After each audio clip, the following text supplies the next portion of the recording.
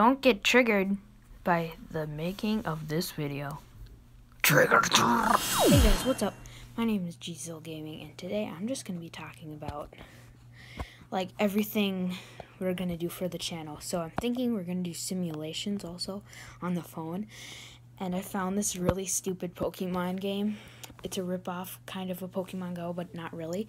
It's called Pokemon Simulator, and then I'm also gonna make like VRs. Obviously, I haven't done those yet, but I will soon. Just wait. And then Boom Beach is going to be pretty cool. So I think I'm going to make like 30 episodes of that. I'm going to upload my second one very, very soon. And